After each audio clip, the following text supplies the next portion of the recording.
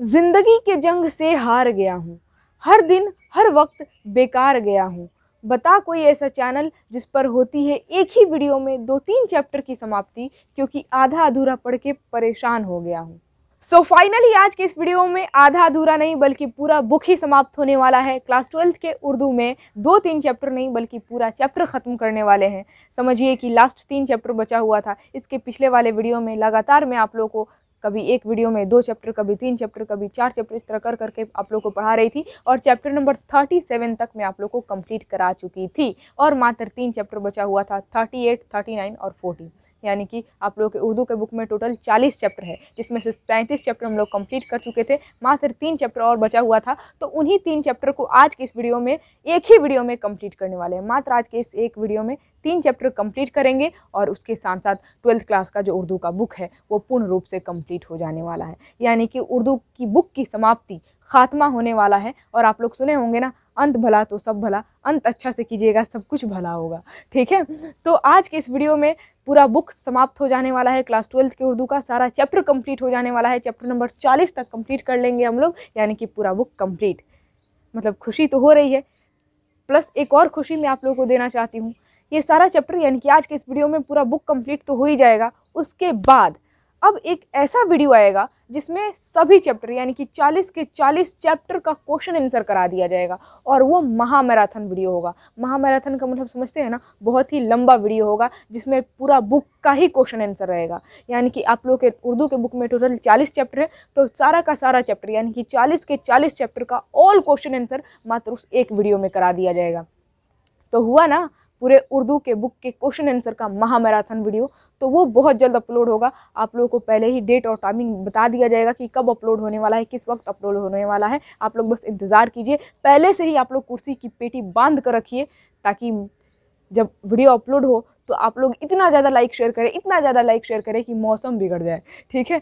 तो वो एक वीडियो जो है ना आप लोगों के लिए काफ़ी इंपॉर्टेंट होगा। सिर्फ़ इंपॉर्टेंट ही नहीं मस्ट इंपॉर्टेंट होगा। अगर उस वीडियो को अगर आप लोग नहीं देखते हैं ना तो फिर समझिए कि आप लोग पछताएँगे। तो उस वीडियो का एकदम बेसब्री से आप लोग इंतज़ार कीजिए और हाँ लाइक शेयर उस वीडियो को करना मत भूलिएगा। जितना ज़्यादा हो सके दबा कर लाइक शेयर कीजिएगा, क्योंकि उससे आप लोग को बहुत ज़्यादा फ़ायदा होने वाला है और जब उससे, उस वीडियो को आप लोग शेयर करेंगे तो बाकी सभी लोग भी उस वीडियो का फ़ायदा उठा पाएँगे। ठीक है? तो खैर, चलिए आज के इस वीडियो को हम लोग स्टार्ट करते हैं। Chapter number thirty eight thirty nine और फोर ज़ीरो फोर्टी यानी कि अड़तीस, उनतालीस, चालीस से तीनों चैप्टर को वन बाई वन करके सिलसिलेवार तरीके से कंप्लीट करते हैं, एकदम मज़ेदार अंदाज में, धुआंधार अंदाज में। ठीक है? तो सबसे पहले हम लोग chapter number thirty eight complete करेंगे, जिसका नाम है तजही के रोज़गार। तजही के रोज़गार, ये एक कसीदा है। कसीदे किसे कहते हैं, मैं आप लोग को बताऊँगी, लेकिन उससे पहले मैं चाहूँगी कि आप लोग वीडियो को लाइक ज़रूर करें। स्टार्टिंग में ही आप लोग वीडियो को लाइक कर दें। जितना ज़्यादा हो सके आप लोगों को शेयर करना है अपने पड़ोसी, अपने दोस्तों के पास।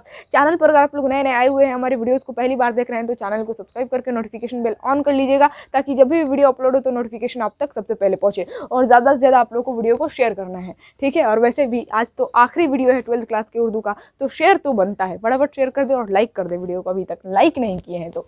ठीक है? तजही के रोज़गार, ये जो चैप्टर है, ये क्या है? कसीदा है। कसीदा किसे कहते हैं? सुनिए ध्यान से। कोई बादशाह हो, राजा हो, बादशाह हो, या कोई प्रधानमंत्री हो, या फिर कोई मुख्यमंत्री हो, या फिर कोई भी अमीर आदमी हो, उसकी तारीफ़ शेर व शायरी के अंदाज में लिख कर कर देना ही क्या कहलाता है? कसीदा कहलाता है। यानी कि कसीदा जो होता है ना, वो किसी की तारीफ़ में लिखा जाता है। अब सिर्फ़ तारीफ़ में नहीं, बुराई में भी मतलब उसमें बुराई भी की जा सकती है किसी की। मान लीजिए कोई अमीर आदमी है तो ज़्यादातर जो है ना, तारीफ़ ही की जाती है कसीदा में। पहले के जो शायर हुआ करते थे, वो दरबार में जाकर जो राजा, महाराजा, बादशाह का दरबार हुआ करता था, वहाँ पर जाकर बादशाह की तारीफ़ में, राजा की तारीफ़ में कसीदे पढ़ा करते थे। यानी कि बादशाह की तारीफ़ करते थे शेर व शायरी के अंदाज में। तो बादशाह जो है ना, खुश होकर शायर को इनाम दे दिया करते थे। तो इनाम पाने की लालच में जो है ना, इनाम पाने के लिए शायर जो थे, वो कसीदा पढ़ा करते थे, बादशाह की तारीफ़ में या फिर राजा महाराजा की तारीफ़ में, ठीक है? तो अमीर आदमी या फिर कोई भी बादशाह या फिर किसी भी हुक्मरा की तारीफ़ जो है ना शेर व शायरी के अंदाज में लिख कर कर देना, क्या कहलाता है? कसीदा कहलाता है। आई होप आप लोगों को कसीदा समझ में आ गया होगा। कसीदा में अक्सर तारीफ़ी होती है, यानी कि किसी अमीर आदमी की तारीफ़ ही की जाती है, तारीफ़ी बयान की जाती है शेर व शायरी के अंदाज में। लेकिन अगर बुराई भी बयान की जाए तो भी वो कसीदा ही कहलाएगा। तो आज की इस वीडियो में जो हम लोग कसीदा पढ़ने वाले हैं ना, इसमें किसी की तारीफ़ नहीं की गई है, इसमें बुराई की गई है।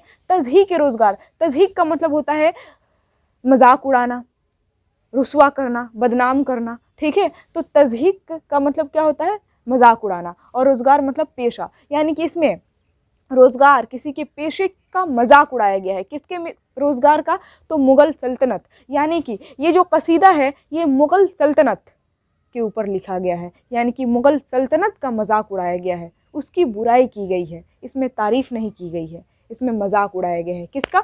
तो मुग़ल सल्तनत का। और डायरेक्ट मज़ाक नहीं उड़ाया गया है। एक घोड़े का ज़रिया बनाकर मज़ाक उड़ाया गया है। ऐसे होता है ना कि एक होता है डायरेक्ट आप बुराई कर रहे हैं बोल कर और एक होता है कटाक्ष करना। ठीक है? किसी के ज़रिए आप बुराई कर रहे हैं।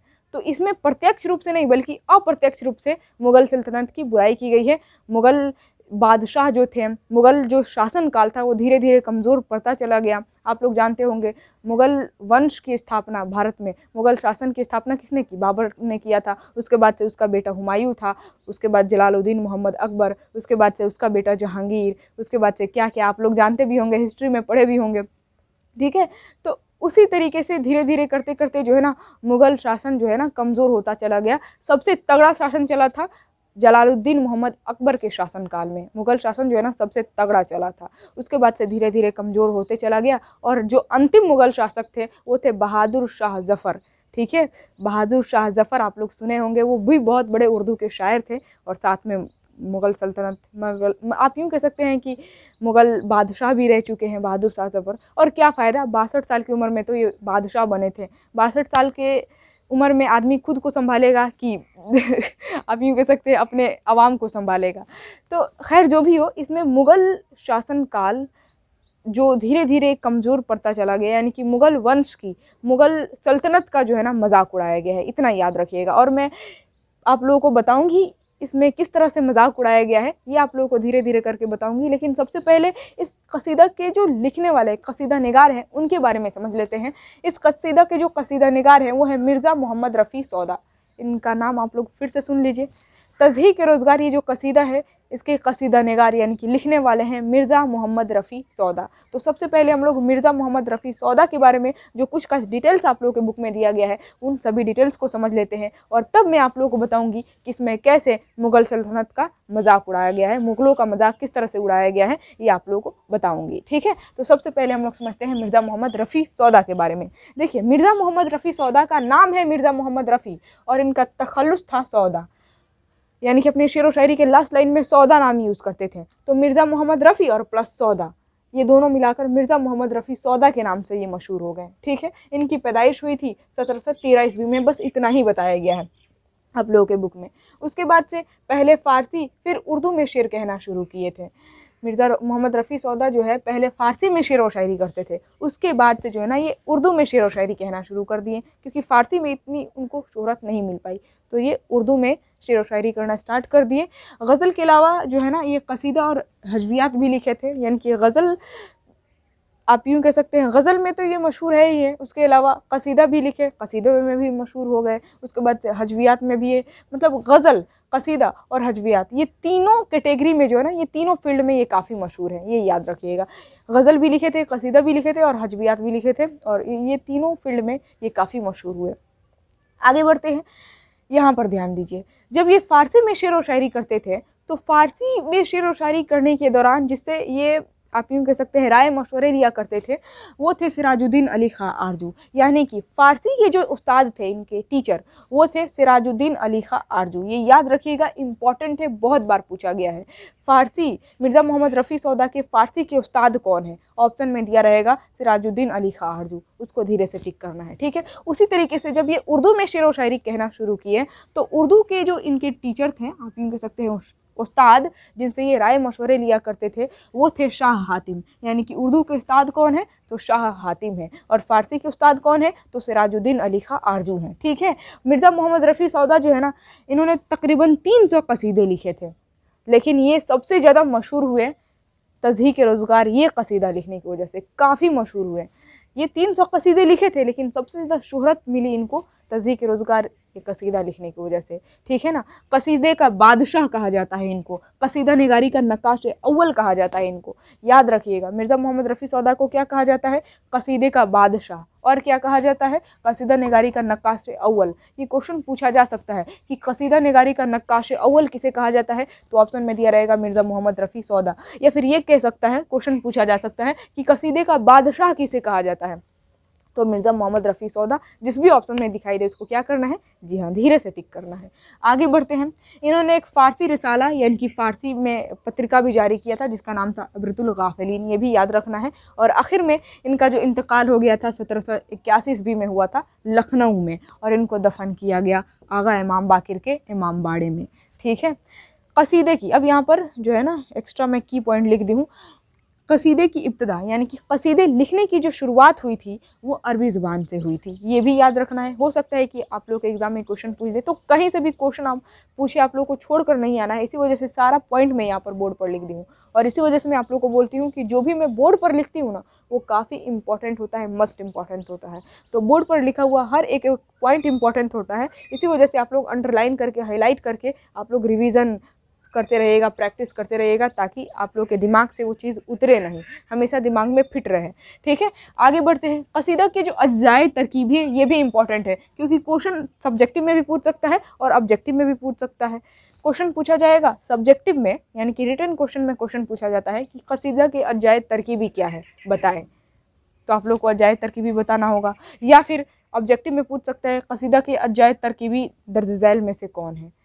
और इन पाँचों में से कोई एक दिया रहेगा। तो याद रखिएगा कसीदा के पाँच अज्जाए तरकीबी है। अज्जाए का अज्जाए तरकीबी का मतलब होता है, वो चीज़ इसमें होनी ही चाहिए। यानी कि कसीदा के ये पाँच अज्जाए तरकीबी है। पहला है तशबीब दूसरा है गुरेज, तीसरा है मदह, चौथा है तलब और पांचवा है दुआ। यानी कि ये पाँच चीज़ जो है ना, कसीदे में होनी चाहिए। अगर ये पाँच चीज़ नहीं होगी तो कसीदे को कसीदे ना नहीं कहा जाएगा।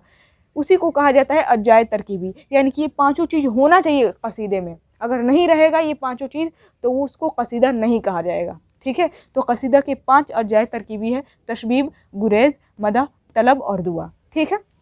आगे बढ़ते हैं। अठारहवीं सदी के मशहूर कसीदा नगार थे मिर्ज़ा मोहम्मद रफ़ी सौदा। ये क्वेश्चन पूछा जा सकता है कि अठारहवीं सदी के मशहूर कसीदा नगार कौन है?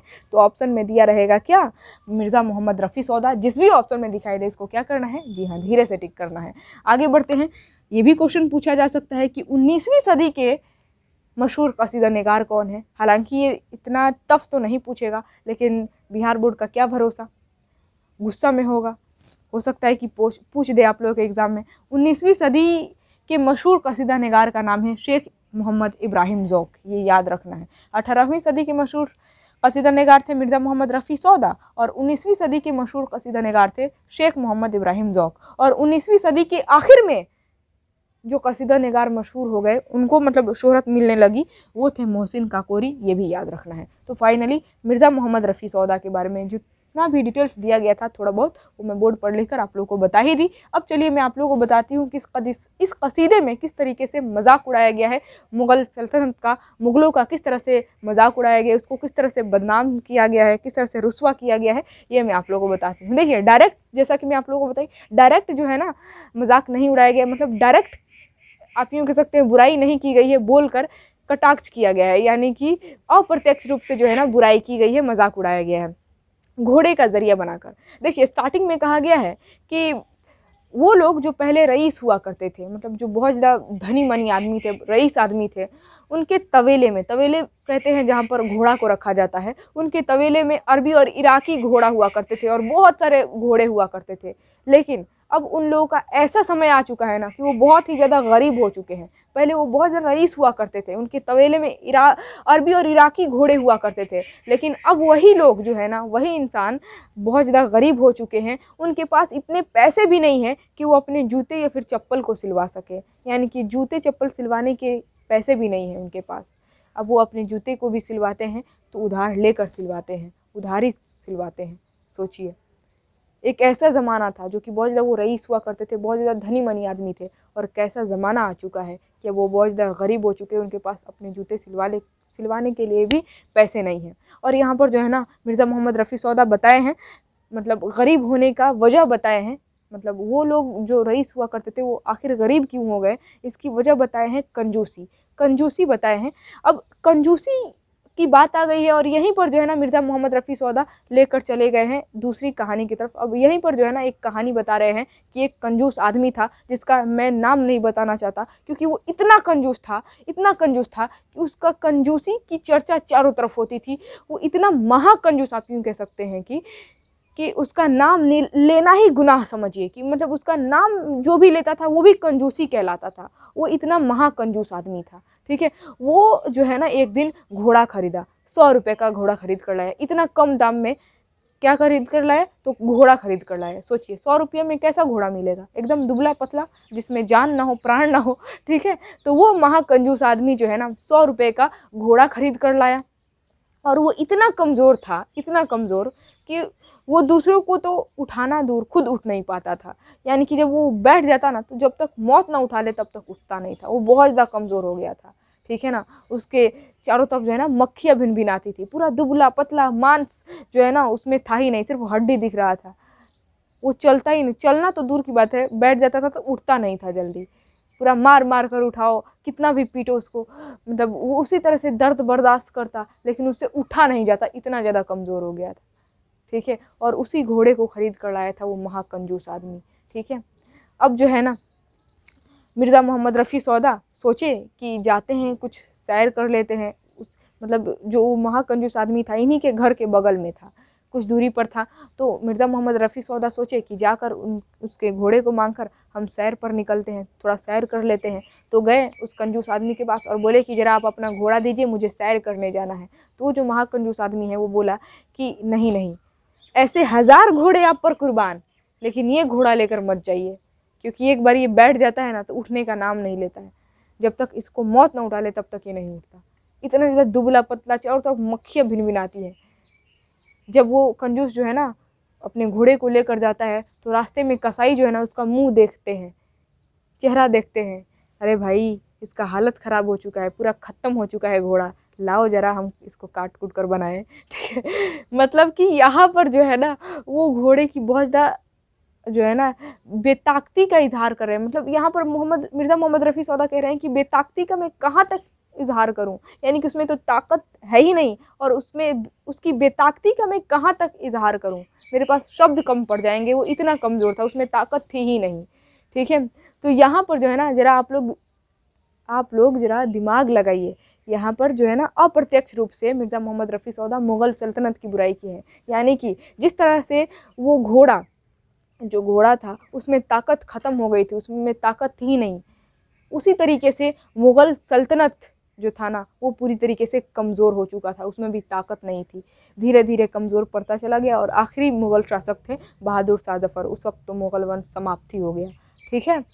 तो उसी तरीके से जिस तरह घोड़ा कमज़ोर हो चुका था, उसकी ताकत नहीं थी। एक बार बैठ जाता था, उठने का नाम ही नहीं लेता था, ठीक है?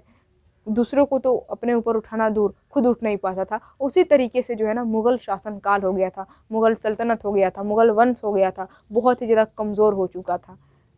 अब आप लोगों को समझ में आया, घोड़े का ज़रिया बनाकर मुग़ल सल्तनत का यहाँ पर मज़ाक उड़ाया गया है, ठीक है? एक बार क्या हुआ, बता रहे हैं मिर्ज़ा मोहम्मद रफ़ी सौदा कि वो घोड़ा जो है ना, ब्याहने के लिए मतलब घोड़ा को एक लड़की की बारात में बुलाया गया। यानी कि दूल्हा जो है ना, वो ब्याहने के लिए उसी घोड़े पर सवार होकर दुल्हन के घर जा रहा था।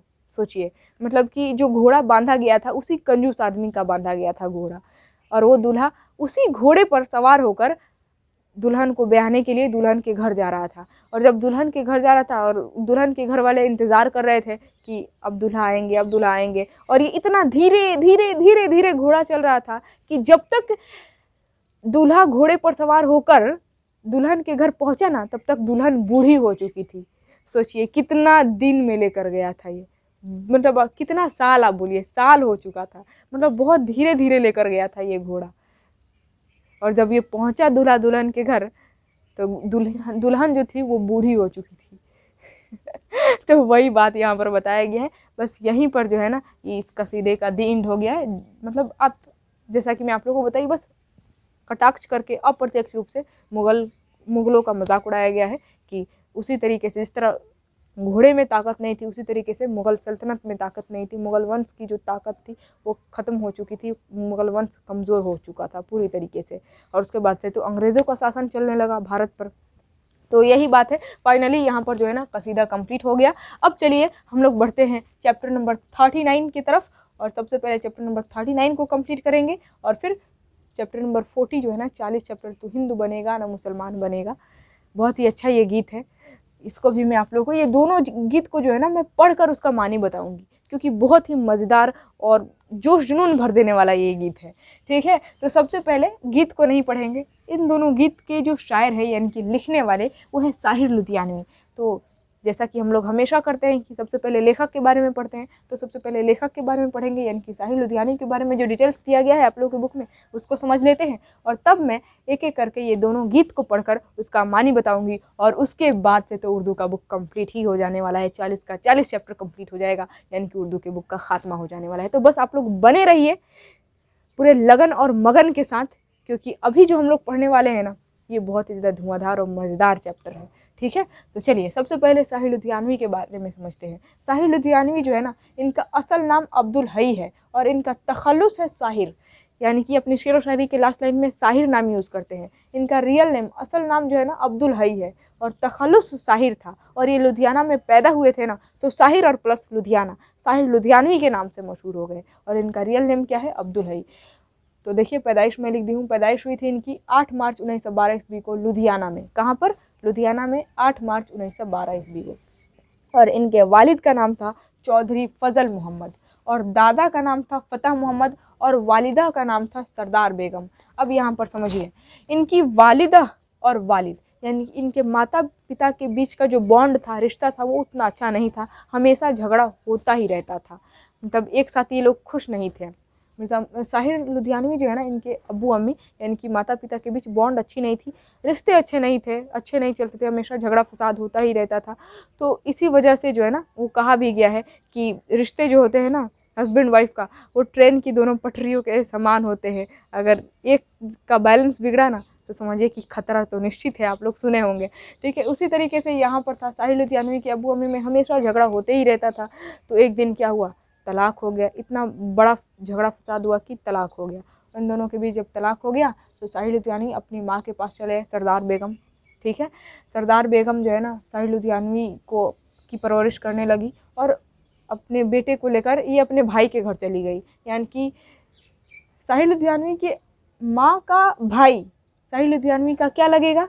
तो मामू लगेगा ना। यानी कि साहिल लुधियानी जो है ना अपने मामू के घर चले गए, अब्दुल रशीद, याद रखिएगा। इनके मामू का क्या नाम है? अब्दुल रशीद। देखिए, साहिल लुधियानवी के अबू अम्मी का जब इंतकाल हुआ, इंतकाल सॉरी सॉरी, इंतकाल नहीं, जब इनका तलाक हुआ तो तलाक हो जाने के बाद साहिल लुधियानवी अपनी माँ के पास रहने लगे, ठीक है? तो इनकी जो माँ थी, सरदार बेगम, वो अपने बेटे यानी कि साहिल लुधियानवी को लेकर अपने भाई के घर चली गई, अब्दुल रशीद के घर। तो अब्दुल रशीद, साहिल लुधियानवी के क्या लगेंगे? मामू ही ना लगेंगे? ये एक दूसरे के मामा और भांजा लगेंगे। ठीक है तो साहिब लुधियानवी के मामू का क्या नाम है? अब्दुल रशीद, याद रखिएगा। यहीं पर जो है ना, इनकी परवरिश हुई थी मामू के घर ही, ठीक है?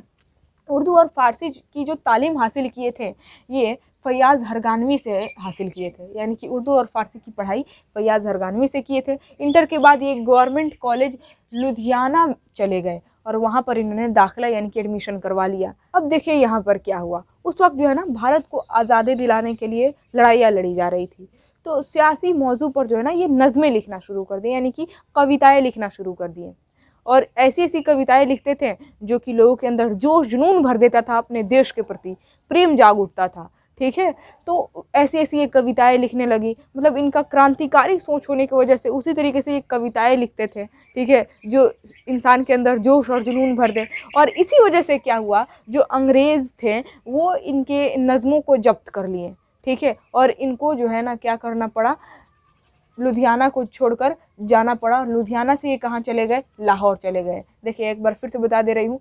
उर्दू और फारसी की तालीम ये फैयाज़ हरगानवी से किए थे और इंटर के बाद ये गवर्नमेंट कॉलेज लुधियाना में दाखिला ले लिए, एडमिशन कर लिए, कर, एडमिशन करवा लिया और वहीं पर आगे की पढ़ाई कर रहे थे। और उस वक्त नज़म भी, यानी कि कविता भी लिख रहे थे क्योंकि भारत को आज़ादी दिलाने के लिए लड़ाई लड़ी जा रही थी। तो अपने देश के प्रति प्रेम जगाना भी ज़रूरी था लोगों के अंदर, ठीक है? तो जोश जुनून भरने के लिए कविताएँ लिखते थे और ऐसी ऐसी कविताएँ जो कि लोगों के अंदर जोश भर देता था, अपने देश के प्रति प्रेम जाग उठता था, ठीक है? तो इस वजह से जो अंग्रेज़ थे, वो इनकी नज्म यानी कि इनकी कविताओं को जब्त कर लिया और इनको जो है ना लुधियाना को छोड़कर जाना पड़ा। लुधियाना से जो है ये लाहौर चले गए और लाहौर में जाकर दयाल सिंह कॉलेज में ये दाखिला यानी कि एडमिशन करवा लिया और वहीं पर पढ़ाई करने लगे।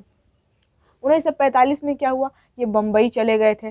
सज्जाद सज्जाद जहीर और अली सरदार जाफरी के साथ ये उन्नीस सौ पैंतालीस में बम्बई चले गए। क्योंकि दयाल सिंह कॉलेज में ये जो दाखिला करवाए थे, वहाँ से भी इनकी पढ़ाई पूरी नहीं हो सकी। यहाँ पर भी अपनी पढ़ाई पूरी नहीं कर पाए, ठीक है? तो लाहौर से ये कहाँ चले गए? बम्बई चले गए उन्नीस सौ पैंतालीस में।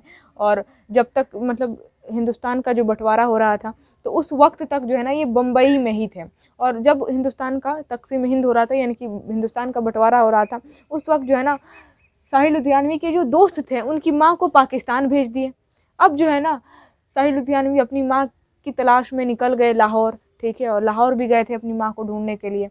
और फिर क्या हुआ? अदब लतीफ़, सवेरा, शाहरा, ये ऐसे पत्रिका हैं, रिसाला है जिन, जिनमें जो है ना शाहिर लुधियानवी काम किए थे। यानी कि अदब लतीफ़, सवेरा, शाहरा, ये तीनों क्या है? रिसाला पत्रिका का नाम है, जहाँ पर शाहिर लुधियानवी काम किए थे, नौकरी किए थे, ठीक है? उसके बाद से क्या हुआ?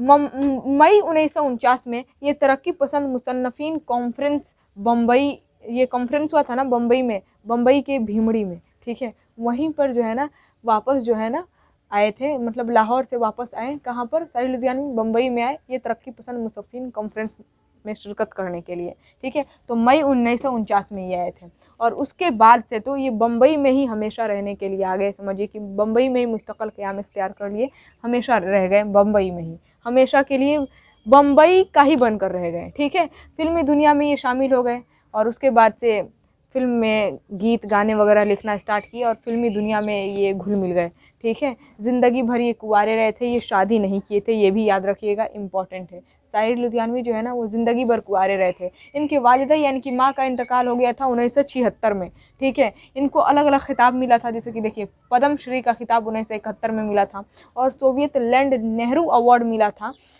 क्या लिखने पर तो आओ के कोई ख्वाब बुने। ये जो किताब था ना, ये किताब लिखने की वजह से इनको सोवियत लैंड नेहरू अवार्ड मिला था, ये भी याद रखना है।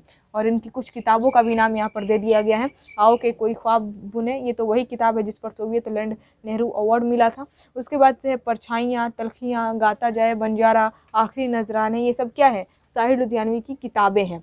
और उसके बाद से आखिरकार इनका भी इंतकाल हो गया। 25 अक्टूबर उन्नीस सौ अस्सी ईस्वी को। बम्बई में ही इनका इंतकाल हो गया, क्योंकि ये हमेशा रहने के लिए बम्बई में ही आ चुके थे और बम्बई में ही इनका इंतकाल हो गया। तो फाइनली ये हो गया साहिर लुधियानवी के बारे में। थोड़ा बहुत डिटेल्स जो कि आप लोगों के बुक में दिया गया था। आई होप आप लोगों को समझ में आ गया होगा। तो अब चलिए मैं आप लोगों को ये दोनों गीत को एक एक करके पढ़कर बताऊँगी कि पहले गीत में क्या बताया गया है, दूसरे गीत में क्या बताया गया है। अच्छा देखिए, साथ ही हाथ बढ़ाना। ये जो गीत है ना, ये नया दौर फ़िल्म का गीत है। यानी कि ये जो गीत लिखे थे साहिल लुधियानवी, नया दौर फ़िल्म के लिए लिखे थे। और उसके बाद से ये जो गीत है, तू हिंदू बनेगा न मुसलमान बनेगा ये गीत लिखा गया था धूल के फूल फ़िल्म के लिए। ठीक है तो ये भी याद रखिएगा कि क्वेश्चन पूछ देता है। तो अब चलिए, एक एक करके हम लोग पढ़ेंगे। सबसे पहले मैं साथ ही हाथ बढ़ाना, इस गीत को पढ़कर उसका मानी बताऊँगी। ये मजदूर मज़दूरों के लिए लिखा गया था, जब हिंदुस्तान को आज़ादी मिल गई थी और बंटवारा हो चुका था, सब कुछ हो चुका था तो भारत को नए सिरे से निर्माण करने के लिए मज़दूरों की ज़रूरत थी। मज़दूर जो है ना, इकट्ठा होकर एक साथ मिलकर काम करें। एक साथ मिलकर काम करने का जज्बा और जोश बढ़ाने के लिए, उनके अंदर जोश जगाने के लिए जो है ना, ये गीत लिखा गया था, साथ ही हाथ बढ़ाना। ठीक है? तो ये गीत किसके लिए लिखा गया? तो मज़दूरों के लिए लिखा गया था। और किस फ़िल्म के लिए, किस फ़िल्म के लिए लिखा गया? तो नया दौर फ़िल्म के लिए लिखा गया था। और ये तो आप लोग जानते हैं, तू हिंदू बनेगा, ना मुसलमान बनेगा। इसमें एक बच्चे को बताया जा रहा है कि ना तू हिंदू बनेगा और ना तू मुसलमान बनेगा। तुम इंसान की औलाद है, इंसान बनेगा। मैं पढ़कर बताऊँगी, अगर आप लोग यहाँ तक स्क्रीन लेना चाहते हैं तो पहले यहाँ तक स्क्रीन ले लीजिए। तब मैं आप लोगों को दोनों पढ़कर बताऊँगी। अदरवाइज़ इसका पीडीएफ भी जो है ना टेलीग्राम पर अपलोड कर दिया जाएगा। तो टेलीग्राम से अगर आप लोग नहीं जुड़े हैं तो ज्ञापन अकेडमी ऑफिशियल टेलीग्राम चैनल का नाम है। आप लोग सर्च करके भी ज्वाइन कर सकते हैं। नहीं तो लिंक भी डाल दिया गया है टेलीग्राम चैनल का इसी वीडियो के डिस्क्रिप्शन में। तो लिंक पर क्लिक करके भी आप लोग ज्वाइन कर सकते हैं। तो वहाँ पर इसका पीडीएफ अपलोड कर दिया जाएगा। हालाँकि अगर आप लोग स्क्रीन लेना चाहते हैं तो कोई दिक्कत नहीं है। ले लीजिए फटाफट स्क्रीन शॉट तो अब चलिए मैं आप लोगों को चैप्टर नंबर थर्टी नाइन साथ ही हाथ बढ़ाना ये जो गीत है, इसको पढ़कर उसका मानी बताती हूँ। देखिए, साथ ही हाथ बढ़ाना, यानी कि इसमें मजदूरों को कहा जा रहा है कि साथ ही हाथ बढ़ाना, यानी कि हाथ बढ़ाने के लिए बोला जा रहा है, मजदूरों को एक साथ मिलकर काम करने के लिए कहा जा रहा है, भारत को एक नए सिरे से निर्माण करने के लिए जोश, जज्बा, जुनून भरा जा रहा है, ठीक है? और यहाँ पर क्वेश्चन पूछ दिया जाता है, आप लोग के एग्ज़ाम में कि साथ ही हाथ बढ़ाना, इस गीत में साथ ही हाथ बढ़ाना कितनी बार आया है? तो एक, दो, तीन, चार, पाँच, छः छः बार आया है, याद रखिएगा। मैं पढ़ रही हूँ, आप लोग ध्यान से सुनिए। साथ ही हाथ बढ़ाना, एक अकेला थक जाएगा, मिलकर बोझ उठाना, साथ ही हाथ बढ़ाना। दो बार हो गया ना? तो यहाँ पर बोला जा रहा है मजदूरों को कि साथ ही हाथ बढ़ाना। मजदूरों को क्या बोल रहे हैं? साथी साथी हाथ बढ़ाना। एक अकेला थक जाएगा, यानी कि एक अकेला मजदूर काम करते करते थक जाएगा, इसीलिए मिलकर बोझ उठाना साथ ही हाथ बढ़ाना। हम मेहनत वालों ने जब भी मिलकर कदम बढ़ाया सागर ने रास्ता छोड़ा पर्वत ने सिर झुकाया फौल आदि है सीने अपने फौल आदि है बाहें हम चाहे तो पैदा कर दे चट्टानों में राहे साथ ही हाथ बढ़ाना तीन बार साथ ही हाथ बढ़ाना हो गया ठीक है? तो यहाँ पर क्या बोला जा रहा है कि हम मेहनत करने वाले हैं और हम मेहनत वालों ने जब भी, मिलकर कदम बढ़ाया है ना तो सागर ने भी रास्ता छोड़ दिया है और पर्वत ने भी अपना शीश झुका दिया है यानी कि हम लोग सागर समुद्र में भी रास्ता निकाले हैं ठीक है? ये दुनिया में गजब गजब कारनामे होते हैं, ठीक है? जो नए नए चीज़ें बनाई जाती हैं, पर्वत में रास्ता बनाना, सागर में रास्ता बनाना, ठीक है? ये नई नई चीज़ें जो टेक्नोलॉजी आती है, ये सिर्फ़ किसके वजह से? मज़दूरों के वजह से। मज़दूर एक साथ मिलकर काम करते हैं, तभी सब कुछ पॉसिबल हो पाता है, ठीक है? तो ये सब कुछ जो है ना, हम मेहनत करने वाले मज़दूरों की वजह से ही हुआ है। फौल आदि है, सीने अपने फौल आदि है बाहें यानी कि अपने आप को बोला जा रहा है, मज़दूर जो है ना, अपने आप को कह रहे हैं यानी कि यहाँ पर जो है ना साहिल लुधियानवी मज़दूरों को जगा रहे हैं, जोश भर रहे हैं, उनमें जुनून भर रहे हैं कि हम लोग की जो बाहें हैं वो फौलादी हम लोग के सीने फौलादी हैं, हम चाहे तो पैदा कर कर दे चट्टानों में रहें। यानी कि अगर हम चाह दें अगर हम मजदूर चाह दें तो एक साथ मिलकर काम करें ना तो चट्टानों में भी राहें पैदा कर सकते हैं, चट्टानों में भी रास्ता निकाल सकते हैं, ठीक है? मेहनत अपनी लेख की रेखा, मेहनत से क्या डरना? कल गैरों के खातिर की, आज अपने खातिर करना। अपना दुख भी एक है साथ, अपना सुख भी एक। अपनी मंजिल सच की मंजिल, अपना रास्ता नेक। साथ हाथ बढ़ाना। चार बार साथ हाथ बढ़ाना हो गया। यहाँ पर बोला जा रहा है, साहिल लुधियानवी कह रहे हैं, मज़दूरों को कि मेहनत अपनी लेख की रेखा, मेहनत से क्या डरना? कल गैरों के खातिर की आज अपने खातिर करना यानी कि यहाँ पर बोला जा रहा है कि मेहनत तो हम लोगों की लेख की रेखा है। हम लोगों के किस्मत में ही लिखा है मेहनत करना। हम लोग मज़दूर हैं। हम लोग का मजदूरी करना ही काम है। यानी कि हम लोग का काम ही है मेहनत करना। कल हम लोग गैरों के खातिर मेहनत किए थे। कल हम लोग अंग्रेज़ों के खातिर मेहनत किए थे। आज हम लोग अपने देश के खातिर करेंगे। अपने खातिर करेंगे। ठीक है? अपना दुख भी एक है, साथ ही अपना सुख भी एक। सही लुधियानवी जो है ना मज़दूरों को कह रहे हैं कि अपना दुख भी एक है साथ ही अपना सुख भी एक है, अपनी मंजिल सच की मंजिल है और अपना रास्ता जो है ना वो नेक है। यानी कि हमारी मंजिल सच की मंजिल है और हमारा रास्ता भी जो है ना वो भी नेक है। ठीक है, साथ ही हाथ बढ़ाना। साथ ही और मिलकर काम करते हैं, क्योंकि मिलकर काम करने से बोझ हल्का होता है और कोई भी असंभव काम भी संभव हो जाता है। ठीक है? इसी वजह से साथ हाथ बढ़ाना। एक से एक मिले तो कतरा बन जाता है दरिया। एक से एक मिले तो ज़र्रा बन जाता है सहरा। एक से एक मिले तो राई बन सकती है पर्वत। एक से एक मिले तो इंसा। बस में कर ले किस्मत। साथ हाथ बढ़ाना। पाँच बार हो गया। ठीक है? तो यहाँ पर बोला जा रहा है, शायर कह रहे हैं मज़दूरों को कि एक से एक मिले तो कतरा बन जाता है दरिया। अगर एक एक कतरा मिल जाए ना तो वो दरिया बन जाता है। अगर एक एक कड़ मिल जाए तो वो रेगिस्तान बन जाता है। एक एक राई मिल जाए तो वो पर्वत बन जाती है। तो सोचिए, अगर एक एक इंसान मिल जाए ना तो वो अपने किस्मत को भी अपने बस में कर सकता है। माटी से हम लाल निकाले, मोती लाए जल से, जो कुछ इस दुनिया में बना है, बना हमारे बल से, कब तक मेहनत के पैरों में दौलत की जंजीरें, हाथ बढ़ाकर छीन लो अपने ख्वाबों की ताबीरें, साथ ही हाथ बढ़ाना। छः बार हो गया ना और ये लास्ट ही था बंद। तो यहाँ पर बोला जा रहा है, शायर कह रहे हैं मज़दूरों को कि माटी से हम लाल निकाले, मोती लाए जल से। यानी कि जो मिट्टी है ना, इससे हम लोग सोना निकालेंगे। जिस तरीके से जल से मोती निकाला जाता है, उसी तरीके से हम लोग इस मिट्टी से हीरा निकालेंगे। ठीक है? हीरा का सेंस समझिएगा, खेती करके हम लोग फ़सल निकालेंगे, क्योंकि खेती करने के बाद जो फ़सल निकलती है, वो क्या हीरे से कम थोड़ो ना होती है, उससे सभी लोगों का पेट भरता है। तो वही बोला जा रहा है कि जिस तरह से जल से मोती निकाली जाती है, उस तरीके से हम लोग जो है ना, इस मिट्टी से लाल निकालेंगे, यानी कि फ़सल तैयार करेंगे, फ़सल निकालेंगे, खूब मेहनत करेंगे, जो कुछ इस दुनिया में बना है, हमारे बल से ही तो बना है। इस दुनिया में जो कुछ भी बना है, हम मज़दूरों के बल से ही बना है, हम मज़दूरों के कारण ही बना है। ठीक है? कब तक मेहनत के पैरों में दौलत की जंजीरें? कब तक मेहनत के पैरों में दौलत की जंजीरें पड़ी रहेंगी? अगर कुछ पाना है ना तो उसको हाथ बढ़ाकर छीन ही लेना पड़ेगा। बोला जा रहा है, हाथ बढ़ाकर छीन लो अपने ख्वाबों की ताबीरें। यानी कि जो भी तुम्हारा ख्वाब है, वो ख्वाब को हाथ बढ़ाकर छीनना ही पड़ेगा। मांगने से ये दुनिया देने वाली है नहीं। जो कुछ भी तुम्हारी मांग है, जो भी तुम्हारा ख्वाब है, उसको हाथ बढ़ाकर छीनना पड़ेगा। ठीक है? साथ साथ ही हाथ बढ़ाना।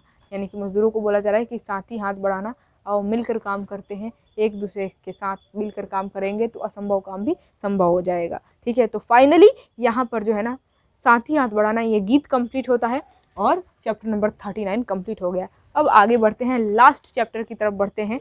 चालीस चैप्टर तू हिंदू बनेगा ना मुसलमान बनेगा, जैसा कि मैं आप लोगों को बताई।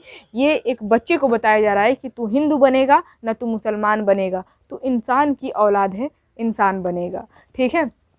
तो ये गीत धूल के फूल फ़िल्म के लिए लिखा गया था और मैं पढ़ रही हूँ, आप लोग ध्यान से सुनिएगा। लिखा गया है, तू हिंदू बनेगा, ना मुसलमान बनेगा तो इंसान की औलाद है, इंसान बनेगा। अच्छा है, अभी तक तेरा कुछ नाम नहीं है, तुझको किसी मज़हब से कोई काम नहीं है। जिस इल्म ने इंसानों को तकसीम किया है, उस इल्म का तुझ पर कोई इल्ज़ाम नहीं है। यहाँ पर बच्चों को बताया जा रहा है कि तू हिंदू बनेगा, ना तू मुसलमान बनेगा। तो इंसान की औलाद है, इंसान बनेगा। अच्छा है कि अभी तक तेरा कुछ नाम नहीं है। तुझको किसी मज़हब से कोई काम नहीं है, तुझको किसी मज़हब, किसी धर्म से कोई काम नहीं है। जिस इल्म ने इंसानों को तकसीम किया है, जिस शिक्षा ने इंसानों को बांट दिया है, बंटवारा कर दिया है, उस इल्म का तुझ पर कोई इल्ज़ाम नहीं है। वो इल्म, वो शिक्षा तुम्हारे पास नहीं है और उस शिक्षा का इल्ज़ाम तुम पर नहीं है। ठीक है, तू बदले हुए वक्त की पहचान बनेगा, इंसान की औलाद है, इंसान बनेगा। यानी कि तू ही बदले हुए वक्त की पहचान बनेगा, तू ही वक्त को बदलेगा। तू इंसान की औलाद है, इंसान बनेगा। ना तू हिंदू बनेगा, ना तो मुसलमान बनेगा। तू ये धर्म धर्म मज़हब के मामले में नहीं फंसेगा। तेरा अभी तक कुछ नाम नहीं है, तुझको किसी धर्म, किसी मज़हब से कोई काम नहीं है। तुम इंसान की औलाद है, इंसान बनेगा और इस वक्त को बदलेगा और बदले हुए वक्त की तू पहचान बनेगा। मालिक ने हर इंसान को इंसान बनाया, हमने उसे हिंदू या मुसलमान बनाया। कुदरत ने जो बख्शी थी हमें एक ही धरती, हमने कहीं भारत, कहीं ईरान बनाया। यहाँ पर शायर कह रहे हैं कि मालिक ने, ऊपर वाले ने हर इंसान को इंसान बनाया, लेकिन हम इंसानों ने ही खुद को हिंदू या फिर मुसलमान बना दिया। यानी कि हम इंसानों ने ही इंसानों को बांट दिया, किसी को हिंदू, किसी को मुसलमान बना दिया। ठीक है? बल्कि ऊपर वाले ने जो है ना, मालिक ने हर इंसान को इंसान बनाया था। और देखो, इंसानों के कारनामे, हम इंसानों ने ही खुद को बांट दिया, किसी को हिंदू, किसी को मुसलमान बना दिया।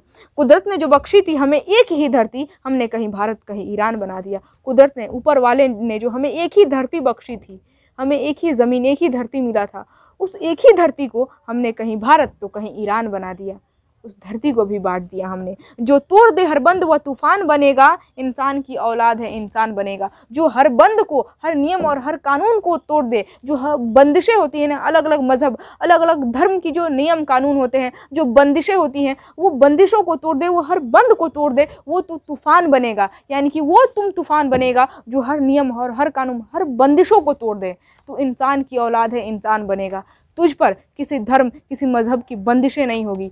तो वो तूफ़ान बनेगा कि हर बंद को तोड़ देगा। तो इंसान की औलाद है, इंसान बनेगा। नफ़रत जो सिखाए वो धर्म तेरा नहीं है। इंसान को जो रौंदे वो कदम तेरा नहीं है। कुरान ना हो जिसमें वो मंदिर नहीं तेरा, गीता ना हो जिसमें वो हरम तेरा नहीं है। यहाँ पर बोला जा रहा है कि नफ़रत जो सिखाए वो धर्म तेरा नहीं है। जो धर्म तुम्हें नफ़रत सिखाए, नफ़रत करना सिखाए, इंसानों से इंसानों का नफरत करना सिखाए ना, वो धर्म तेरा नहीं है, इंसान को जो रौंदे वो कदम तेरा नहीं है। जो कदम इंसान को ही रौन डाले, वो कदम तेरा नहीं है। कुरान ना हो जिसमें वो मंदिर नहीं तेरा, यानी कि जिस मंदिर में कुरान ना हो, वो मंदिर नहीं तेरा, और जिस मस्जिद में गीता ना हो, वो मस्जिद नहीं, वो हरम नहीं तेरा। ठीक है? वही यहाँ पर बोला जा रहा है कि कुरान ना हो जिसमें वो मंदिर नहीं तेरा, गीता ना हो जिसमें वो हरम तेरा नहीं है। यानी कि जिस मस्जिद में, जिस हरम में गीता ना हो वो हरम तेरा नहीं है। तो अमन का और सुलह का ऐलान बनेगा, इंसान की औलाद है, इंसान बनेगा। यानी कि तुम सुख और शांति का ऐलान बनेगा तो इंसान की औलाद है, इंसान बनेगा। ये दीन के ताजिर, ये वतन बेचने वाले, इंसानों की लाशों के कफन बेचने वाले, यह महलों में बैठे हुए कातिल ये लुटेरे, कांटों के अवज, रूह चमन बेचने वाले तो इनके लिए मौत का ऐलान बनेगा। इंसान की औलाद है, इंसान बनेगा। बताया जा रहा है बच्चों को कि ये दिन के जो ताजिर हैं ना, ये धर्म के तजारत करने वाले हैं, ये जो वतन बेचने वाले हैं, जो वतन को बेच डालते हैं, इंसानों की लाशों के कफन बेचने वाले हैं, ये जो महले में बैठे हुए कातिल लुटेरे हैं, यानी कि ये जो कातिल लुटेरे जो महलों में बैठे हुए हैं बड़े बड़े क्राइम कर कर के जो है ना महलों में बैठे हुए हैं, उनके लिए तो मौत का ऐलान बनेगा, इंसान की औलाद है, इंसान बनेगा। ठीक है? ना तू हिंदू बनेगा, ना तू मुसलमान बनेगा। तू इंसान की औलाद है, इंसान बनेगा, तुझको किसी धर्म से, किसी मज़हब से कोई काम नहीं होगा। तू इंसान बनेगा, तेरा कोई धर्म नहीं होगा, तेरा कोई मज़हब नहीं होगा। ठीक है? और फाइनली जो है ना यहाँ पर ये गीत कंप्लीट होती है, इसका मैं मानी बता दी। आई होप आप लोगों को समझ में आया होगा, पूरा जोश और जुनून भर देने वाला ये गीत है और बहुत ही खूबसूरत ये गीत है, आप यूँ कह सकते हैं कि। ठीक है तो फाइनली यहाँ पर ये चैप्टर नंबर फोर्टी भी कंप्लीट हो गया। लगातार हम लोग थर्टी एट थर्टी नाइन और फोर्टी, यानी कि तीनों चैप्टर को कंप्लीट कर लिए। आई होप आप लोगों को समझ में आ गया होगा। तीनों चैप्टर समझ में आया है और वीडियो अच्छा लगा है तो कमेंट बॉक्स में तो एक बार लिख कर बता देना है कि हाँ मैं समझ में आ गया है और पूरा चैप्टर कंप्लीट हो गया है। उसके साथ साथ वीडियो को अभी तक आप लोग लाइक नहीं किए हैं तो फटाफट लाइक कर दे और जितना ज़्यादा हो सके आप लोग को शेयर करना है, दबा कर शेयर करना है। ठीक है? आज ये आखिरी वीडियो था और फाइनली आप लोग का उर्दू का बुक जो है ना कंप्लीट भी हो गया। आप लोग के ट्वेल्थ क्लास के उर्दू का जो कहकशा बुक था, मात्र एक ही बुक पढ़ना होता है। तो कहकशा बुक का खात्मा हो गया आज के इस वीडियो में। पूर्ण रूप से सारा चैप्टर कंप्लीट हो गया। चालीस का चालीस चैप्टर मैं आप लोगों को कंप्लीट करा दी। और वक्त से पहले कंप्लीट हुआ है, ये खुशी की बात है। ठीक है? तो फटाफट आप लोग वीडियो को शेयर कर दें। चैनल पर अगर आप लोग नए नए आए हुए हैं, हमारे वीडियोस को पहली बार देख रहे हैं तो चैनल को सब्सक्राइब करके नोटिफिकेशन बेल ऑन कर लीजिएगा, ताकि जब भी वीडियो अपलोड हो तो नोटिफिकेशन आप तक सबसे पहले पहुँचे। और पहले मैं आप लोग को फिर से बता दे रही हूँ कि वीडियो को ज़्यादा से ज़्यादा शेयर करना है। हो सके तो आज के इस वीडियो को स्टेटस ज़रूर लगाइए, जितना ज़्यादा हो सके आप लोग को शेयर करके स्टेटस लगाना है। अगर आप लोगों का व्हाट्सएप ग्रुप चलता है तो उसमें भी शेयर कर दीजिए फटाफट, ठीक है? और आप लोग ऑलरेडी तो स्क्रीन ले ही चुके हैं। तो चलिए आज के इस वीडियो को यहीं पर एंड करते हैं। अब जो महामैराथन वाला वीडियो है यानी कि वो वीडियो जिसमें मैं आप लोगों को सारे चैप्टर का 40 के 40 चैप्टर का क्वेश्चन आंसर कराने वाली हूँ। यानी कि जो क्वेश्चन आंसर का महामैराथन वाला वीडियो है ना, वो बहुत जल्द अपलोड होगा। आप लोग टेंशन नहीं लीजिए, काम तो स्टार्ट हो ही चुका है और दो तीन दिन तक, मान लीजिए कुछ दिनों तक वीडियो अपलोड नहीं हो पाता है तो इसका मतलब आप लोग ये नहीं सोचिएगा कि मैं चुपचाप हूँ, कुछ नहीं कर रही हूँ। ऐसा बिल्कुल भी नहीं है। कैमरे के पीछे आप सभी लोगों के लिए मेहनत चल रही है और बहुत जल्द वो क्वेश्चन आंसर का महामैराथन वाला वीडियो अपलोड होगा, जिसका डेट और टाइमिंग आप लोग को कम्युनिटी में पोस्ट करके बता दिया जाएगा। लेकिन उसके पहले कि आप लोग चुपचाप बैठे रहेंगे अब कुछ नहीं करना है। जी नहीं, मैं बताती हूँ आप लोग को क्या करना है। अब आप लोग को रिविज़न करना है। आज के इस वीडियो में चालीस का चालीस चैप्टर कंप्लीट हो गया। टोटल उर्दू का बुक कंप्लीट हो गया। लेकिन अब आप लोग को चुपचाप बैठकर इंतज़ार नहीं करना है कि कब क्वेश्चन आंसर वाला वीडियो अपलोड हो। जी नहीं, अब आप लोग को रिविज़न करना है फिर से चैप्टर नंबर वन से, ताकि आप लोग जो कुछ भी पढ़े हैं, वो आप लोगों के माइंड में दोबारा रिफ्रेश हो जाए, ताज़ा हो जाए। ठीक है ना? तो रिवीजन करना ज़रूरी है। जब तक आप लोग रिवीजन नहीं करेंगे, रिवाइज नहीं करेंगे, तब तक आपका कुछ नहीं हो सकता है। चीज़ें आप लोगों के माइंड में लंबे समय तक के लिए फिट नहीं हो पाएँगी। तो इस वजह से मैं बोल रही हूँ कि आज के इस वीडियो में उर्दू तो कंप्लीट हो गया, पूरा चैप्टर कंप्लीट हो गया, चालीस का चालीस चैप्टर कंप्लीट हो गया, लेकिन फिर से आप लोग चैप्टर वन से रिवाइज करें। रिविज़न करने के लिए बोल रही हूँ, पढ़ने के लिए नहीं बोल रही हूँ। यानी कि अब आप लोग को उसी तरीके से वीडियो नहीं देखना है जिस तरह पहले देखा करते थे। अब आप लोग वीडियो की स्पीड बढ़ा लीजिए। एकदम पूरा फास्ट करके देखिए। रिवीजन करना है क्योंकि आप लोग पहले पढ़ चुके हैं, अब रिवीजन करना है। तो वीडियो की स्पीड फास्ट करके यानी कि बढ़ा करके और तब आप लोग रिवीजन कीजिए। ठीक है, इस तरह से आप लोग जल्दी से रिवीजन कर पाएँगे और फटाफट रिवीजन करके तैयार रखिए ताकि क्वेश्चन आंसर वाला वीडियो अपलोड होना। तो उसमें जितना भी क्वेश्चन आंसर मैं आप लोग कराऊँ तो हर एक क्वेश्चन का आंसर आप लोग खुद ही बता दें। ठीक है? तो चलिए आई होप आप लोग को समझ में आ गया होगा। आप लोग बस बेसब्री से इंतज़ार कीजिए क्वेश्चन आंसर वाले वीडियो का, यानी कि महामैराथन जो वीडियो अपलोड होने वाला है, उसका डेट और टाइमिंग बता दिया जाएगा। कम्युनिटी में पोस्ट करके आप लोग देखते रहिएगा और बस आप लोग इंतज़ार कीजिए, बहुत जल्द अपलोड होने वाला है। आज के इस वीडियो को हम लोग यहीं पर एंड करते हैं। इसी के साथ मैं आप सभी लोगों से विदा लेती हूँ। बाय बाय टेक केयर फिर मिलेंगे हम लोग अगले वीडियो में, अगले टॉपिक के साथ। तब तक के लिए जय हिंद और खुदा हाफिज़।